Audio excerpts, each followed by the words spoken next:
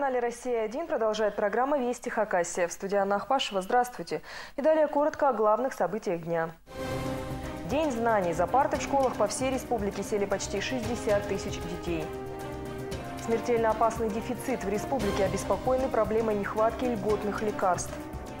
Идет охота. В Хакасии официально разрешен отстрел пернатых.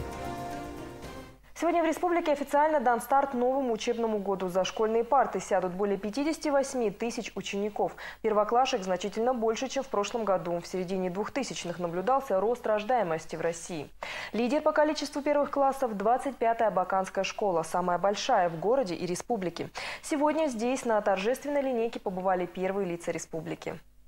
В этом году в 25-й школе 7 первых классов. Это около 200 малышей. Но для самого большого образовательного учреждения города это не рекорд. Когда-то набирали и по 9 первых классов. Приняли практически всех, кто изъявил желание, стремление родителей отдать свое чадо. Именно сюда вполне объяснимо. Школа – одна из лучших в Абакане. Гордостью школы, безусловно, являются наши выпускники, поскольку это самые любимые, наверное, самые талантливые, самые добрые. Мы помним о каждом выпускнике нашей школы. Этот год у нас особенный. 22 ученика стали обладателями медалей. Ребята получили у нас сегодня 14 медалей. Это золото, 8 серебро и 10, 10 аттестатов особого образца.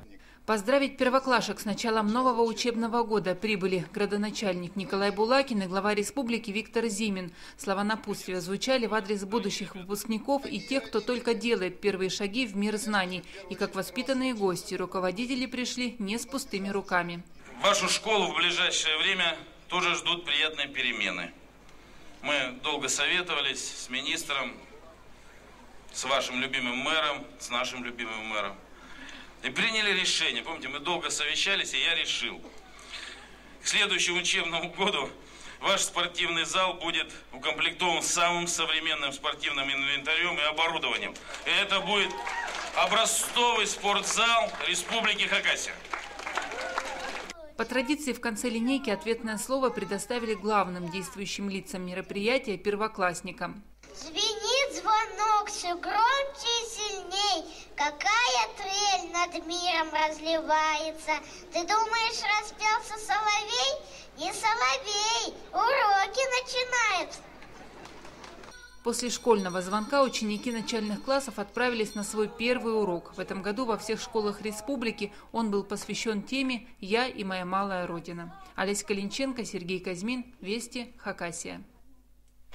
На южной дамбе Абакана вновь произошло ДТП со смертельным исходом. В субботу утром в лобовом столкновении автомобилей погибло два человека. Иномарка Nissan Sunny ехала со стороны Абакана в Белый Яр. По неизвестным причинам водитель не справился с управлением, наехал на ограждение справа, после чего вылетел на встречку, по которой в тот момент ехал МАЗ. За рулем грузовика сидел житель Минусинска. Все, кто находился в легковом автомобиле, погибли. Сегодня рабочий день в правительстве Хакасии начался с внеочередного совещания. Причина такой срочности – массовое обращение жителей к главе региона с жалобами на нехватку льготных лекарств. Власти признают, проблема с бесплатными медикаментами в республике есть, и ее нужно срочно решать. Каким образом, выясняла Ольга Стельмах. Обещаете? Обещаю. И ни в каких аптеках не знаете, нет? Нет, Льготных лекарств нет, когда будут, неизвестно. Эту фразу жители Хакасии слышат практически каждый день. Раиса Горбачева в числе региональных льготников оббивает пороги аптек. Бороться с серьезными проблемами со здоровьем на мизерную пенсию не выходит. Разочарование приходит. Приходишь и ничего нет. Нет денег. Вот у них нет, у нас тоже нет. Вот так вот и мучаемся всю пенсию и будем на лекарства только расходовать. Ситуация с бесплатными лекарствами действительно зашла в тупик. В правительстве республики срочно собирают совещание. Первым Ирине Смолиной, заместителю главы Хакасии, отчитывается Минздрав.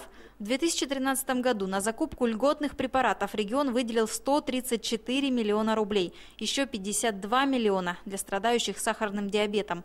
Это лишь по плану. На деле количество льготников резко увеличилось. Препараты и без того не из дешевых подорожали. Ко всему прочему, бюджет региона недополучил по налогам. Сегодня Минздрав признает, не справляется с потоком льготников. За полгода у нас в Республике Хакасия почти появилось под тысячу человек, которые в основном это а, сахарным диабетом страдающие люди и онкологическими заболеваниями. И я бы еще раз хотел бы обратиться к тем людям, чтобы они не уходили с федеральной льготы, потому что тогда нам будет проще и им им будет проще, легче получить э, значит, лекарственные препараты по федеральной программе, чем из региональной. До сих пор не погашена кредиторская задолженность перед поставщиками еще за 2012 год. К проблеме подключился Минфин. Республика ищет резервы. В настоящее время в аптеках находится лекарств на 17,5 миллионов рублей по региональной льготе и по сахарному диабету на, э, в объеме 5,4 миллиона рублей. Я думаю, что у нас есть все основания для того, чтобы максимально закрыть от, отложенный спрос. Между тем, финансовый вопрос далеко не единственный. Льготной системе Хакасии считает Росздравнадзор нужен тщательный контроль и планирование. Ведь зачастую республика закупает те медикаменты, рецепты на которые вообще не выписывают. Деньги отвлечены, препараты есть, но больными, докторами эти препараты не востребованы.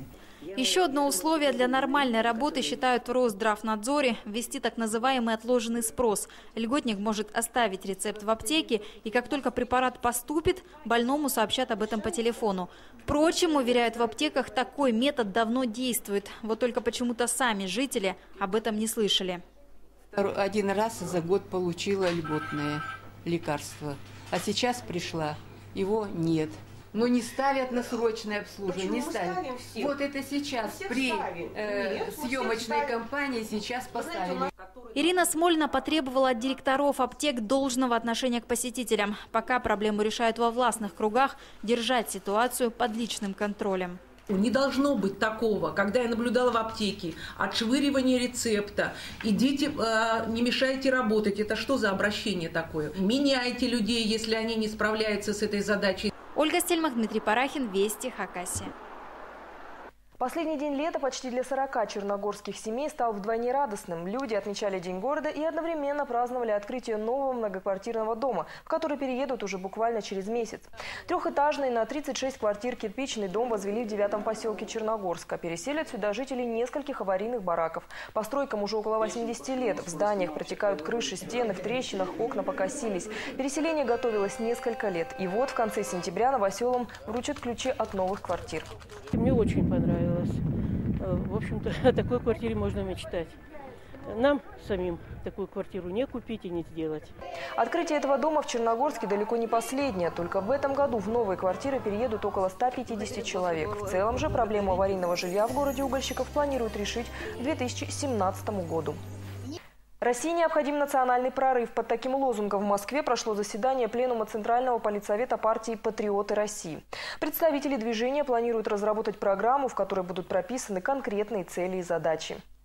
29 августа в Москве состоялся пленум Центрального политсовета политической партии «Патриоты России». На нем был рассмотрен вопрос о заявлении Центрального политического совета партии «Патриоты России». На пороге кризиса России необходимо правительство национального прорыва. В работе пленума приняли участие руководители ряда региональных отделений партии. Сегодня Центральный политсовет партии «Патриоты России» принял соответствующее заявление. Мы считаем, что в стране сложилась предкризисная ситуация – все социально-экономические показатели красноречиво нам об этом говорят. Мы поставили несколько важных главных задач перед развитием страны. Это э, здоровье и жизнь человека, это повышение уровня и качества жизни, это богатство регионов и решение острых социально-экономических вопросов, и в том числе э, вопросов, которые преодолевают этот кризис. И мы впервые начали говорить о стратегии развития страны на ближайшие десятилетия. Это национальный прорыв. Исходя из этого, нам необходимо правительства национального прорыва. Нам необходимо провести ротацию всех кадров органов власти и управления по вертикали и, конечно, развернуть э, социально-экономические, научные и технологические проекты во всех отраслях и во всех регионах. Патриоты России намерены сформулировать программу, систему мер и предложить ряд законодательных инициатив, позволяющих стране совершить национальный прорыв. Партия планирует предоставить эти документы на осеннем съезде в 2013 году и вынести их на широкое обсуждение. В Хакасии открыт сезон охоты на пернатых. По информации Республиканского комитета по охране животного мира, в республике разрешение получили почти 14 тысяч охотников. Практически во всех районах республики, но в специально отведенных угодьях сейчас охотиться можно на степную, луговую и водоплавающую дичь. Закон разрешает это до 31 октября. А вот ходить с ружьем на боровую птицу, на того же глухаря или тетерева, можно на месяц дольше, до 31 декабря. Впрочем, выстрелы на местных просторах слышны будут вплоть до самого лета. Сейчас боровая водоплавающая за ней пойдет заяц, копытная, соболь и для кого отдыха, для нас работа. Между тем, инспектор в очередной раз предупреждает любителей старинной забавы не забывать в азарте о нормах закона. Ведь наказанием предусмотрены не только штрафы, но и конфискация лицензий на отстрел. Не нарушать, например, территории охот угодий, ведь природа в Хакасии, особенно в заповедных местах, уникальна и первозданна.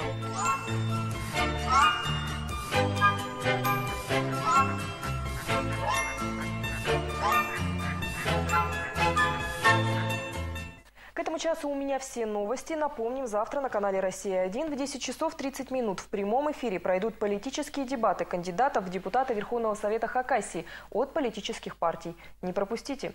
Хороших вам вестей. Увидимся.